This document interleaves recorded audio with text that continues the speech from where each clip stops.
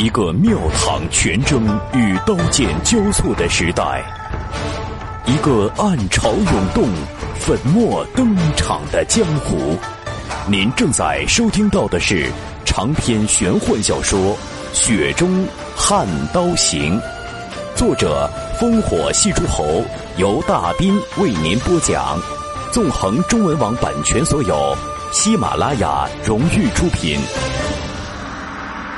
雪中悍刀行》第一百八十三回，徐凤年很想告诉初入江湖的懵懂少年，那些人前白衣飘飘、仗剑走四方的大侠，也要为一日三餐费神；那些看似不食人间烟火的漂亮女子，也会有这样那样的小肚鸡肠。那些耀武扬威的一方诸侯，也有打落牙齿或血往肚子里边吞的憋屈，只不过最终还是作罢。少年郎的江湖梦，能多做一天白日梦都是好事。徐凤年弯腰摸了摸坐下棕色马匹的柔顺鬃毛，自己那个一见面就对媳妇儿大放厥词的老爹，说完那句话就不出意外的讨了一顿的痛打。但让世人感到惊奇的是，这名辽东行伍出身的年轻武卒，一次一次死里逃生，一步一步登顶庙堂。除了与寻常将军并无两样的一具铠甲，更披上了那件王朝无人不知、无人不晓的蓝缎蟒袍。不过，在世子殿下眼中，北凉王、大柱国大将军这几个让人敬畏的显赫头衔约么是灯下黑的缘故，都极少去深思。记忆最深的，只是徐骁年复一年的缝制布鞋。少年时代觉得徐骁是无聊透顶，如今也还是觉得徐骁是无聊，无聊无聊。人屠徐骁，许多言语。但赵长林死了，那么多同生却不共死的老兄弟都死了，始终呢也唯再娶王妃，子女嫁的嫁，游学的游学，远行的远行，他又能找谁聊去？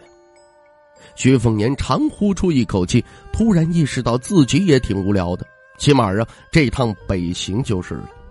世子殿下没来由想起了木剑温华的一句口头禅，当下很忧郁啊。话说于龙帮一路平安无事的。到了燕回关的附近，徐凤年呢也就返身北上。之所以没有出留下城，便往那龙腰州腹地而去，是怕被魏老狐狸瞧出端倪。据说春弄秋水已经惹人生疑，徐凤年不想在在这种小事上节外生枝。与鱼龙帮的离别，既谈不上半点伤感，也没如何欢喜，平淡如水。鱼龙帮不敢入城。只能在一处黄土高坡宿夜，以天为被，以地为床的滋味不好受。也就是功成名就以后忆苦思甜的谈资罢了。当下没几个人乐意吃这份苦头。于龙帮毫无悬念的，只有少年王大石给徐凤年送行。夕阳西下，徐凤年上马前停步笑道：“教你的拳法口诀啊，不是什么神功心法，靠的呢是滴水穿石。”你就当做是强身健体，至于那叫三金的剑招，你这辈子都未必可能使得出手。如果呀，你知道创出这招剑时的剑哥是个缺门牙的老铁匠，一定会很失落。他呢，姓黄，西蜀人，这辈子穷困潦倒，既没媳妇儿也没徒弟，我就当替老黄啊收你当个徒弟了。你们俩呀，都是笨蛋，笨师傅不嫌徒弟不聪明，江湖游子太多。个个都是想成精的狐狸，我呢就是一个实诚人呢，反而成了这凤毛麟角。你呢也是一个，所以呀，你别学我。我若是没能回北凉，你的剑术好歹还留下一招。徐凤年上马以后，一人一骑春雷奔赴北马。王大石驻足远望，直到徐公子身影消失，才握紧拳头给自己鼓气。告诫自己万万不能偷懒。一转身看到刘尼荣站在不远处，才鼓起的勇气荡然无存。少年只剩下局促不安。刘尼荣一笑置之，一齐呢走回山坡。王大石再迟钝，也看得出他与徐公子之间剑拔弩张的关系。他小心翼翼的说：“徐公子真的是好人。”刘尼荣柔声道：“对你来说当然是好人，我不否认。”王大石涨红着脸，少年性子憨厚，一张嘴笨拙，不知从何说起了。咱们再说这徐凤年。徐凤年单骑朝北，坐在马背上，以道门基础口诀做一纳气六吐气的养气功夫，与马背起伏，天衣无缝。吹以去热静心，呼以定八风，喝气重青莲，虚以养龙虎，不断辅以叩齿去敲金玉，在脑中回响。体内气机熟能生巧，久而久之，便如同那身体雄金鸟身，自成三清天。大黄庭登天阁最明显的就是形成一层包裹心脏的护甲般的气机。不同道门教派典籍的阐述各有偏差，有说是金丹成就真人元婴，也有说是心直长生莲。徐凤年已经能够清晰感受到体内心脏周围有六条气机欢快婉转，如龙衔珠，给予心脏强健的庇护。只不过徐凤年还远未达到出窍神游的内视境界，但在不断疯狂吸纳大黄庭过程中啊，对借天象接地气有了一种懵懵懂懂的雏形感受。离金刚镜虽然还有一层窗纸没有捅破。不过，徐凤年自信，此金刚镜更像是两禅寺白衣僧人的天王像，与寻常顶尖武夫有所不同。否则呀，早就死在了呵呵姑娘的手刀刺杀之下了。大黄庭玄妙的一气贯三清，简单而言呢，就是心枯气竭之前，哪怕肢体被断，都不至于严重影响战力。这比身上那件价值连城的蚕丝软甲可要实惠太多了，因此三教圣人境界要远比那以立正道的江湖龙蟒更容易接近陆地神仙。只不过境界高不意味着杀人手段强。佛门虽也有金刚怒目降伏四魔一说，但终归还是更注重菩萨低眉慈悲六道。这也是北莽武平将国师麒麟真人与两禅寺主持独立于武平之外的苦心。至于那青衣曹长青，须知此人呢，也曾是领兵杀伐的绝代儒将，被誉为让天地发杀机、叫龙蛇起陆地的奇葩，是黎阳北莽两大王朝千万读书人里的头一号的异类。徐凤年随着境界攀升，对天地感知清晰度暴涨。回头再去想江南道上的相逢，越能感受到曹官子当时的深藏不露了。没了这鱼龙帮需要顾忌，单枪匹马的徐凤年，白天头顶烈日，晚上披星戴月，半旬的日子就到了龙腰州的腹地，再有一日行程就可以进入飞狐城。他的坐骑呢，是一匹脚力平平的烈马，早已经累得够呛。这些个日子风尘仆仆，尘土扑面，他俨然成了一名不修边幅的邋遢汉子。其实啊，不用那张生根面具，都已经没人认得出这位佩刀游侠就是玉树临风的世子殿下。大漠黄沙骄阳，道路上热气升腾，徐凤年放缓了马速。真是有些追忆那江南烟雨小桥流水，便是乡野村庄的女子小娘，也透着那么股子天生的水润。在江南渴了就去溪里弯腰饮水，在这满眼荒凉的荒野上撒泡尿放个水都觉得心疼，好像啊是丢了几两银子似的。孤苦伶仃的徐凤年从身后马背上摘起水囊，喝去最后自行滚烫起来的一口水，他咧嘴笑了笑。百里无人烟也有好处，性之所至啊，养剑御剑也好，剑气滚龙臂也罢，都可以肆无忌惮。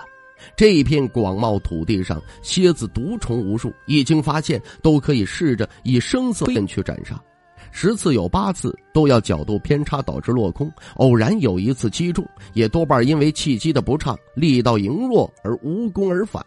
但也有极少的情况下呀，误打误撞，能让咱们这世子殿下如疯子一般的仰天大笑。也对呀，不是十足的疯子，谁会带十二柄飞剑来到北莽啊？置身寂寥天地间。无法与人言的无聊世子殿下，无牵无挂，无所依托，故而真正做到了心无旁骛。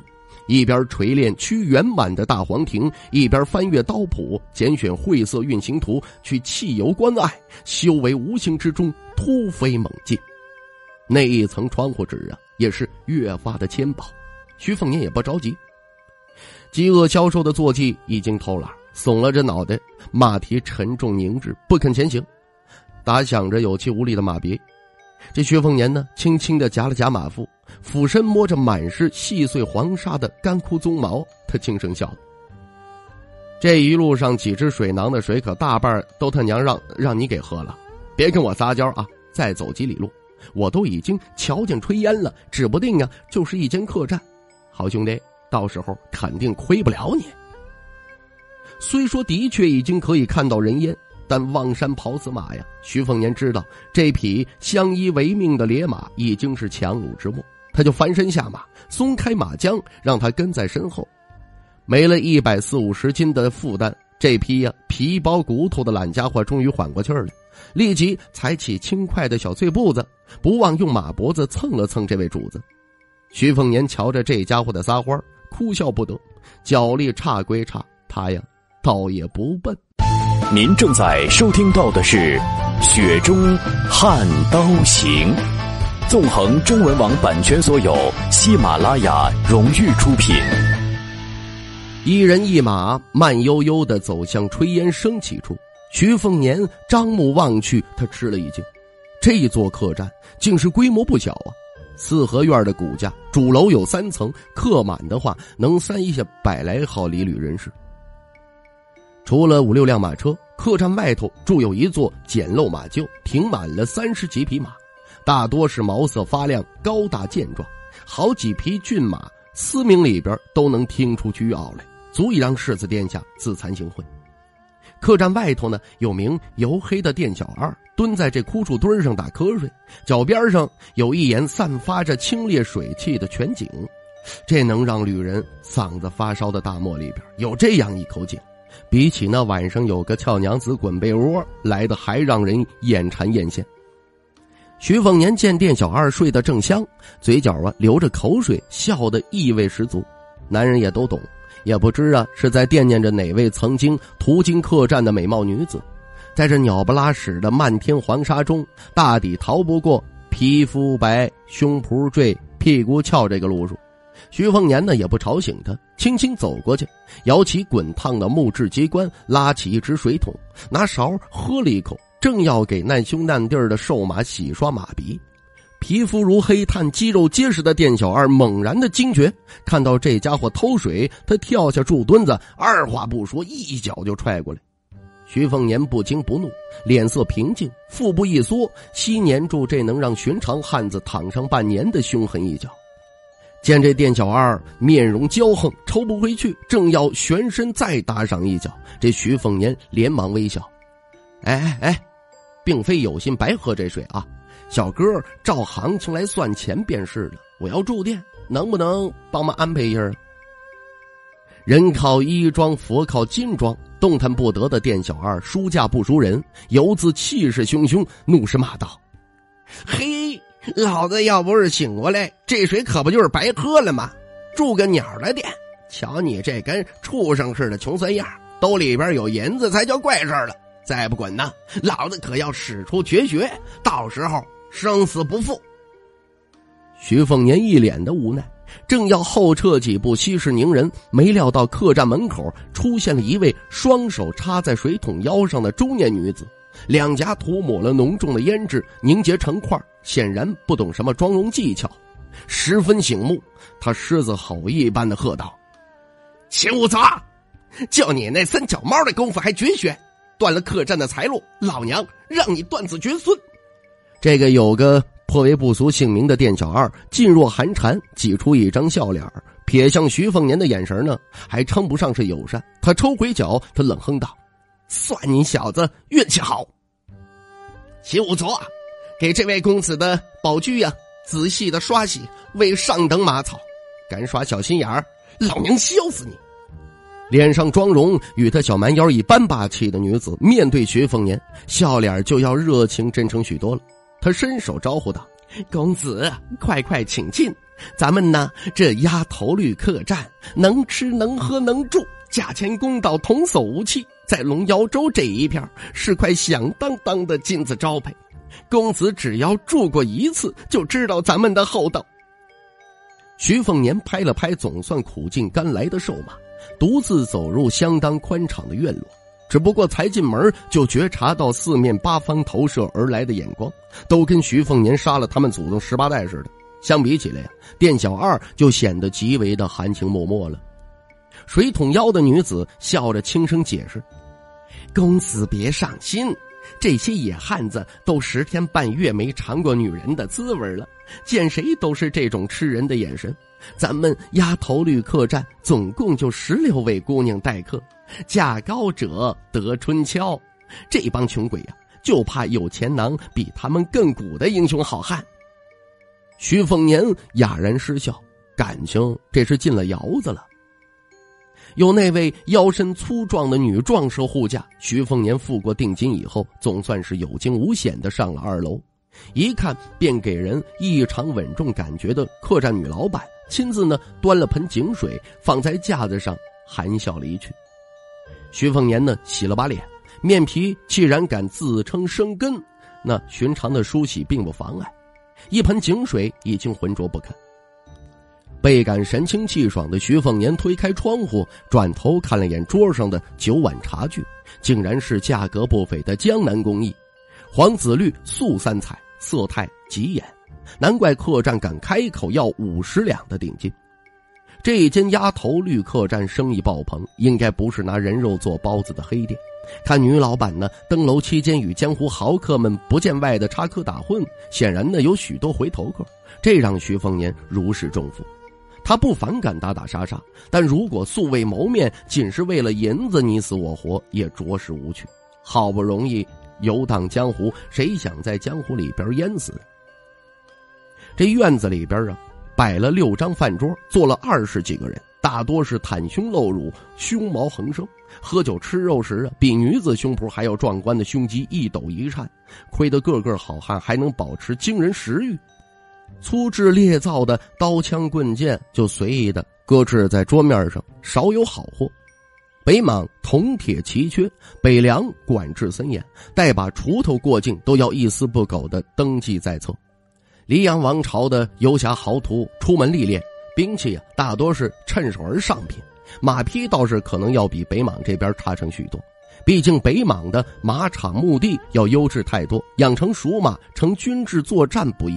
八州官府也一样盯得紧，但家底子殷实的豪横之士，花大价钱弄上一两匹啊，装点装点门面也并非难事。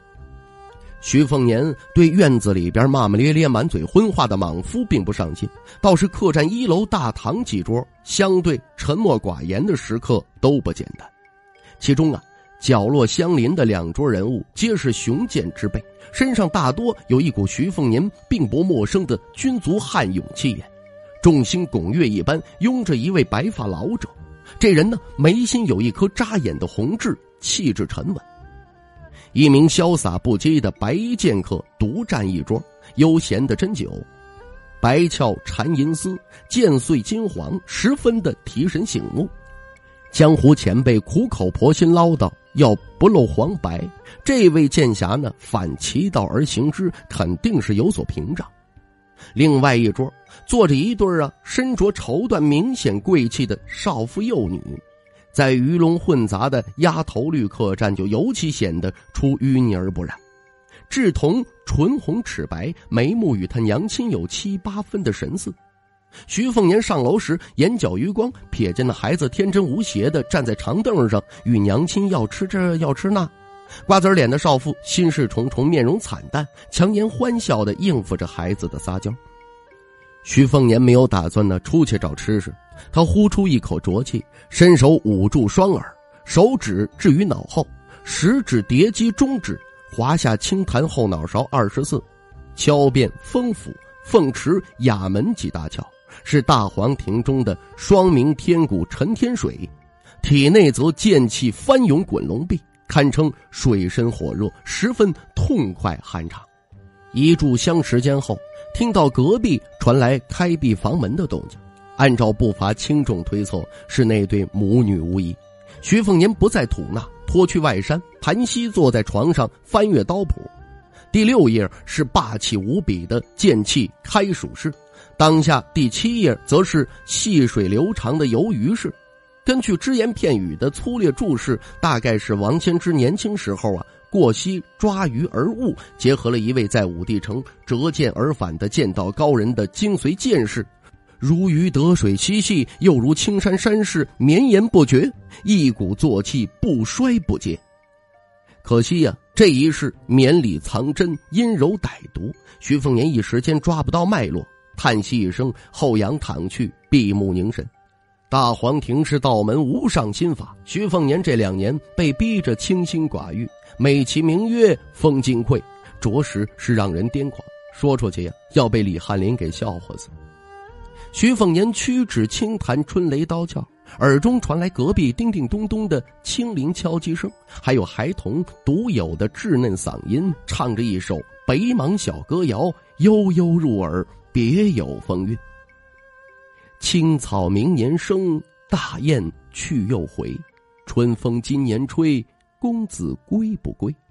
青石板，青草绿，青石桥上青衣郎，哼着金陵调。谁家女儿低头笑？听众朋友，《雪中悍刀行》纵横中文网版权所有，喜马拉雅独家出品，作者烽火戏诸侯，由大斌为您播讲。更多内容请登录喜马拉雅电台或添加大斌小说微信公众平台 dbxd 九八一。《雪中悍刀行》今天为您播讲到这儿，感谢您的收听。